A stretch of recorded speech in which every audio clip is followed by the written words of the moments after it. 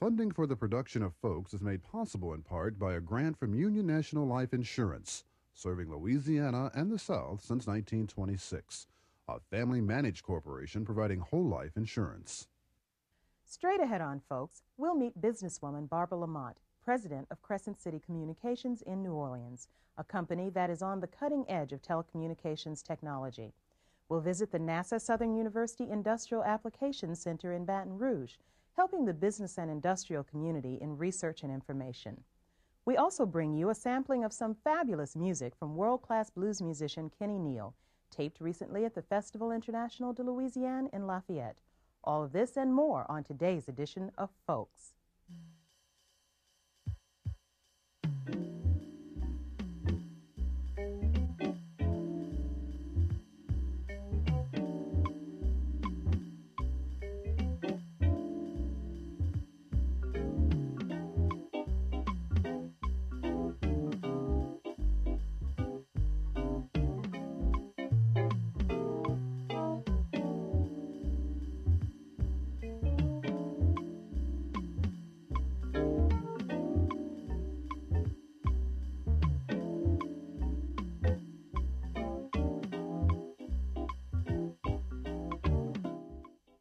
Hello, everyone, and welcome to Folks. I'm Sonya Masingale.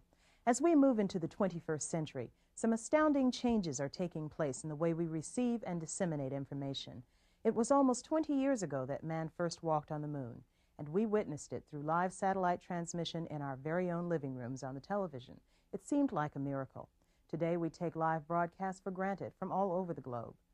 20 years ago, gathering research information of a business or technical nature required hours of diligent research for most people. Today, the same information can be retrieved in minutes through the marvel of computers linked by telephone lines. To those of us who remember the slow old days, these are the days of miracles. Where do minorities fit into this changing world of technology? Well, the subject of today's lead story would probably say anywhere they want to. For Barbara Lamont, president of Crescent City Communications in New Orleans, parent company for a television station and a teleport, anything that can be conceived can with perseverance be achieved. But despite U.S. sanctions, Poland does intend to honor its 9 to 12 billion dollar debt to Western banks, remaining what he called an honest trading partner. Barbara Lamont, CBS News, New York. Barbara Lamont has over 30 years' experience in broadcasting. She has been a foreign correspondent, a reporter for CBS in New York and Washington, and WNEW, and anchor of a weekly black news program. She ran the Nigerian television network for two years. All of this at a time when women were just beginning to make a mark in the broadcasting arena. Now she is venturing into another phase of broadcasting where women are scarce. Lamont is owner and chief executive officer of Crescent City Communications, parent company of soon to be on the air WCCL TV 49 in New Orleans. The decision to continue in communications, it's what I like, it's what I love, and it's just the tip of a baby industry that's going to grow over the next 20 or 30 years by leaps and bounds. I think you're going to see a small TV set, a standard issue in every car, the way you have a cassette player right now.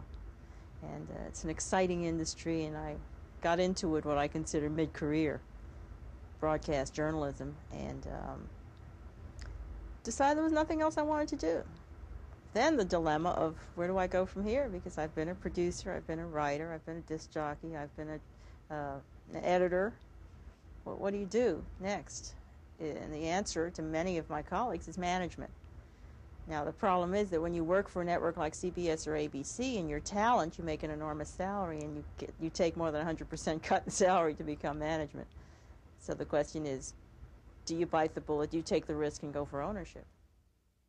Acquiring an FCC license was difficult for Lamont. The process took three years in all. I want to say it's the hardest thing I ever did. Enormous stress. I didn't have gray hair before that.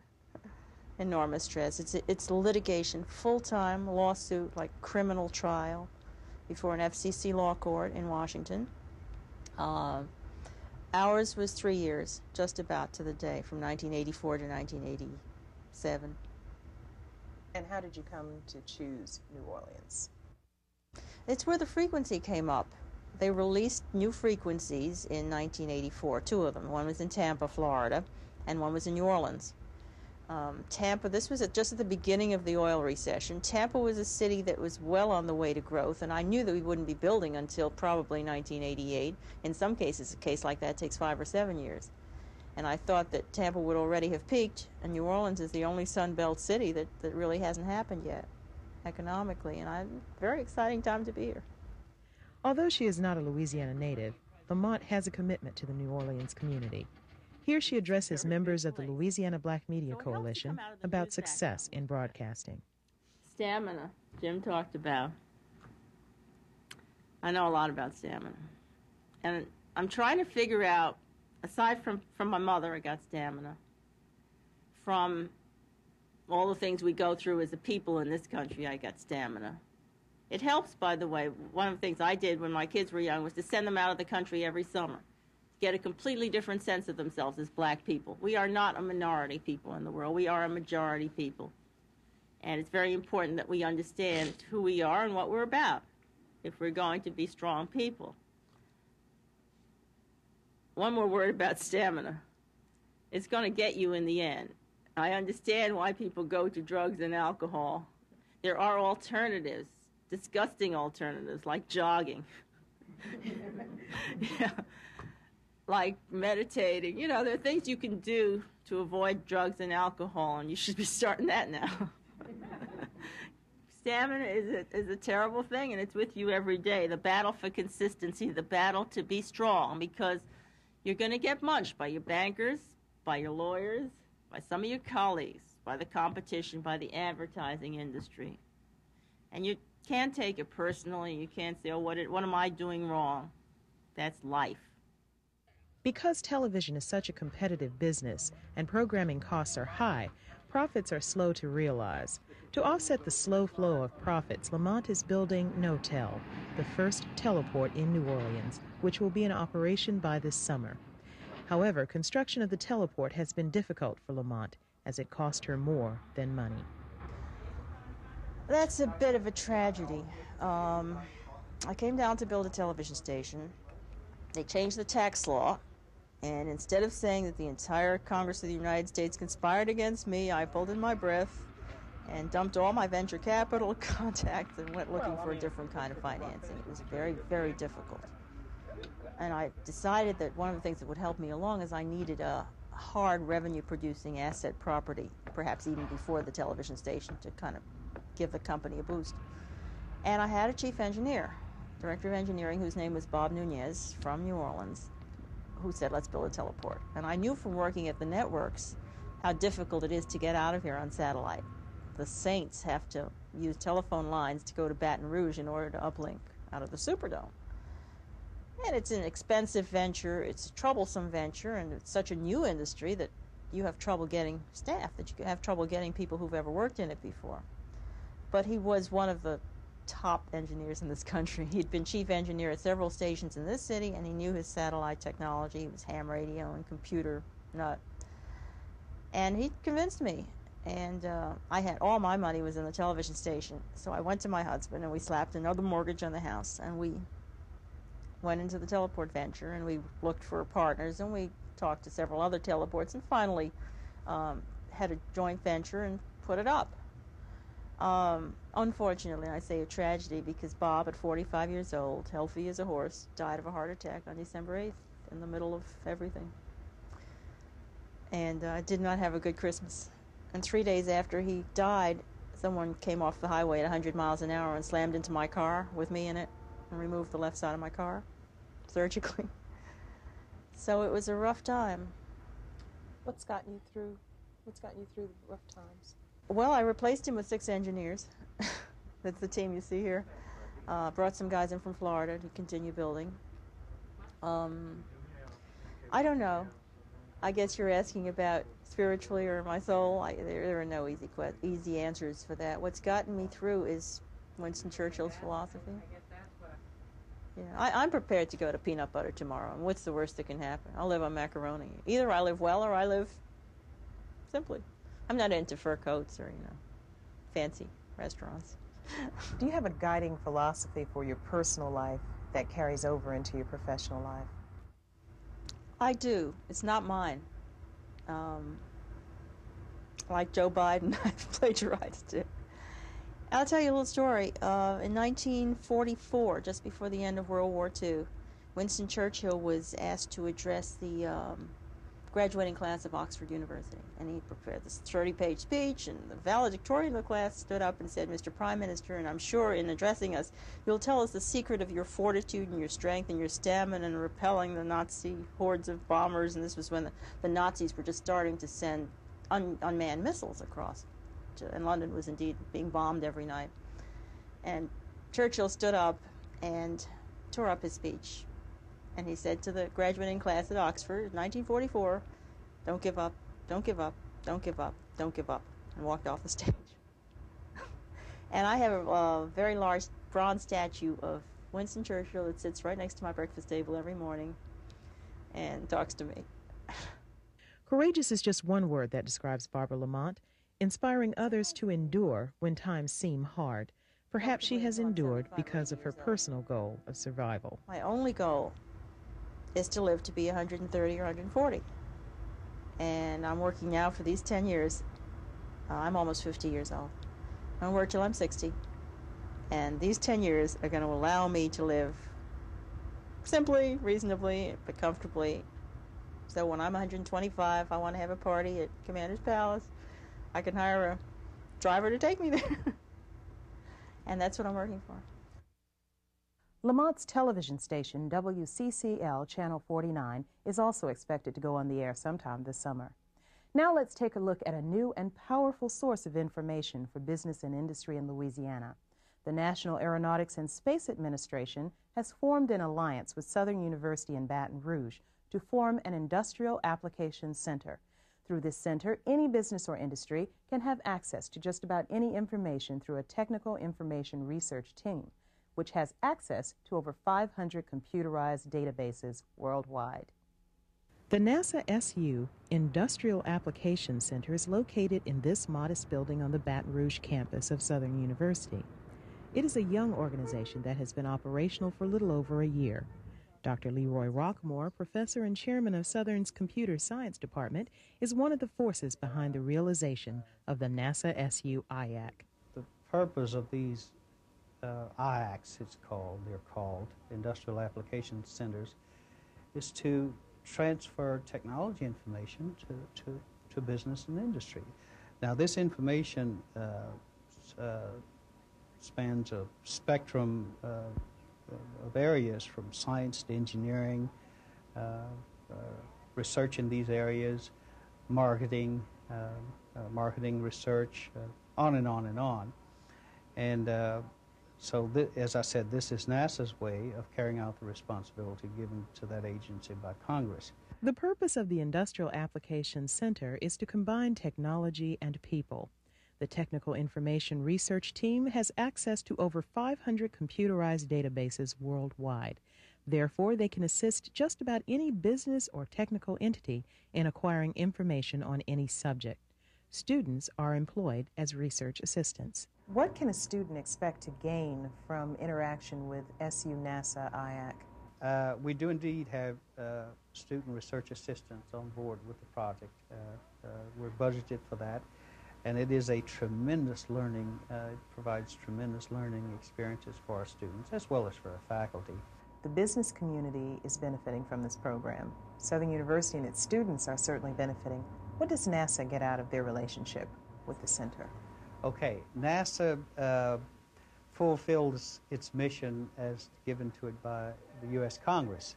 That is to say, it indeed uh, uh, accomplishes the feat of, of, of, spreading technology information to the, to the taxpayers. Basically, there are two areas that we can provide a service.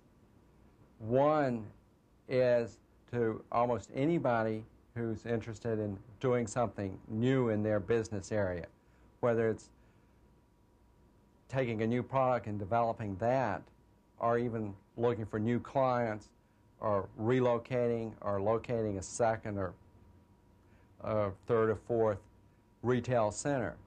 They can come to us. We have access to over 500 different commercial databases, plus quite a few government databases. Dr. John Hubbell is director of the NASA SUIAC and a member of the graduate school faculty. Here he outlines some of the uses for the center. The second aspect is development of something new. If a company has an idea and they're ready to make a prototype, but they don't have all the knowledge and all the expertise and the resources to do it, we put them in contact with the appropriate NASA field center that has a similar interest. And together, they can, if their interests match, say, well, we'll put our NASA engineers to work in this area because they have maybe expertise in this area and come up with a finished product that the customer can patent. Accent is oldest, and uh, it's been around about 20, uh, about 12 years. Uh, we have, in my opinion, successfully done business with uh, large and small companies alike. Uh, we are uh, our expertise is interior build, building maintenance. we we have the the expertise and the man manpower and equipment to service large and small buildings alike uh, both industrial, commercial, and institutional. Henry Clark is the director of sales for Accent Maintenance and T&E Janitorial Supply, a combined business enterprise that has utilized the Industrial Applications Center. I was looking for um, a most cost-effective way to increase sales for both T&E and Accent. Um, I guess we, we kind of met by coincidence. Uh, Mr. Stewart and I attended a meeting where he introduced me to his programs and the things that they did. Uh, but we just we talked a little bit. Uh, I told him some of the things that I was interested in, and one of those things was to search the commerce business daily, um, on an ongoing basis. Um, to do that, it re- would, require physically a lot of time on my part. Uh, I could have them do it uh, at uh, and save myself a lot of money uh, and time and they could uh, routinely give me information from that system. NASA SU IAC is strongly committed to minority and disadvantaged businesses. Although they do charge a fee for their services, the fees are much lower than a business owner would expect to pay a private research information firm. This project is part of NASA's community service. Why is there a fee attached to the services? Well, part of it is if you get something and pay nothing for it, it doesn't get used with its true value. The other thing, this is a service that is supposed to be more or less self generating or a service that produces self generating funds. So that if we provide service for 100 clients, maybe our overhead's paid for by NASA. But if we provide service for 2,000 clients, then our budget doesn't cover that. It is, in my opinion, one of the most cost effective ways to search the commerce business daily. Uh, it has certainly been proven, uh, that's been proven through us. For more information about the services of NASA SU IAC, call 504 771 NASA. If you are a minority business owner or just interested in trends in minority business, the next feature is for you. Next weekend at Southern University in Baton Rouge, there will be the second annual Minority Business and Trade Show. We were there last year, and here's just a sample of what you'll find. The Minority Business and Trade Show is being held to promote education, research, and development in the black community.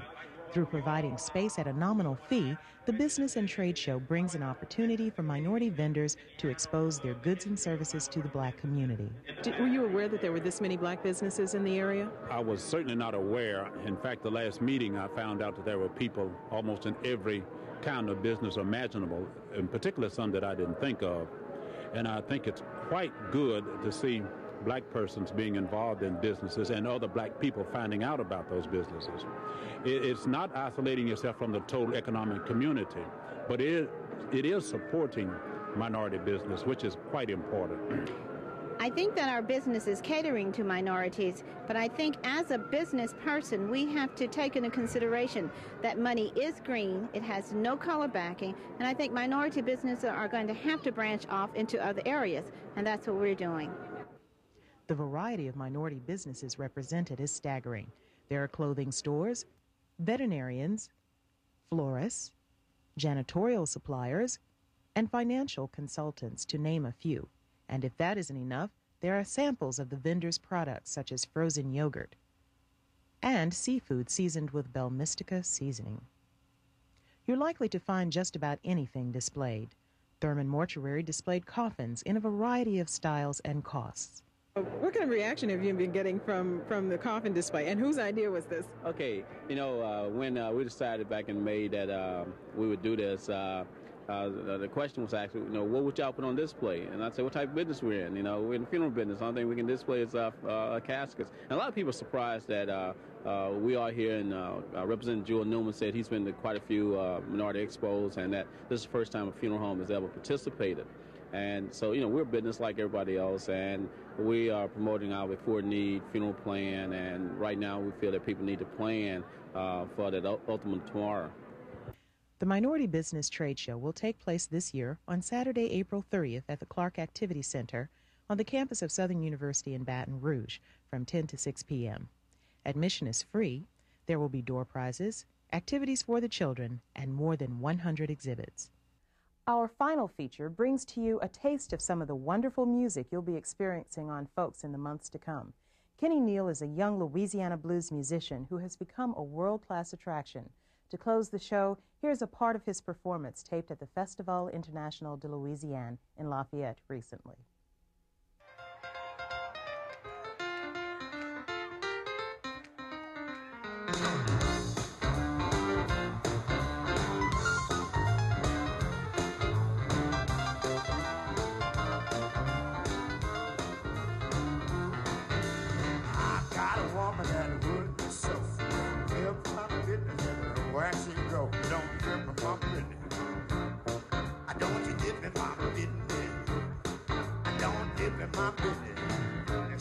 I just can't understand.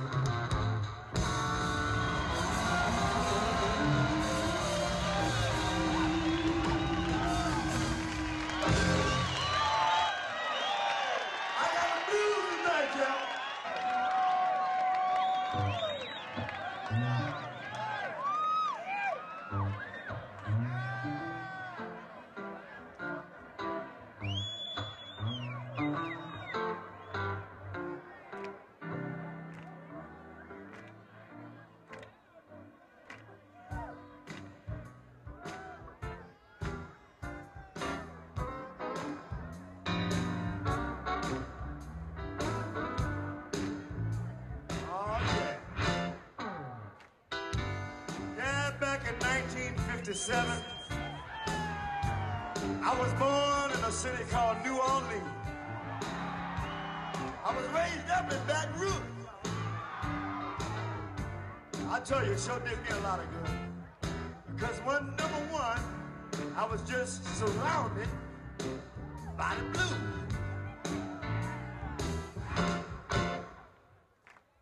Now, when I was a little bit of boy, my daddy used to set me on his knee. Pocket, pull out his harmonica. He'll play the blues for me, y'all. And I was just sitting there sucking it all in. I tell you, I was just surrounded by the blues, y'all. I'm gonna tell you something else. When you see, my mama, she told me, she said, Kenny, go to school, son, learn your book. Don't grow up to be nobody fool. Boy, I tell you, I sure wish I would have listened to my mama. Cause I've been a fool, y'all. And that wasn't good enough, you know, that wasn't good enough. I got to tell y'all a little bit of more about myself. Y'all know what I did? Y'all know what I did? As Soon as I got a little hair in my face, I thought I was a man. Couldn't tell me I wasn't a man. And that wasn't good enough. You know what I had to do? I had to go get me a wife. Oh, I sure wish I would have listened to my mama. Because I've been a fool. So I tell you what, right about now, I like to reminisce a little bit. And I'll show you what my daddy used to play for me a long time ago when I was a little bit of boy. Y'all ready? Are y'all ready?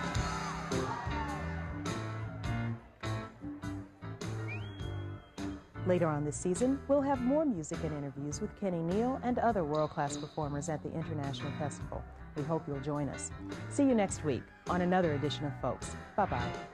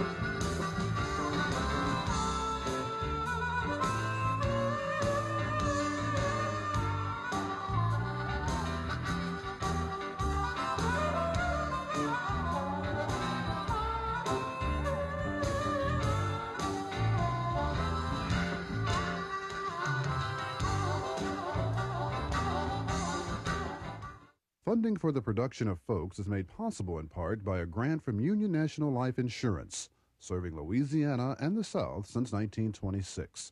A family managed corporation providing whole life insurance.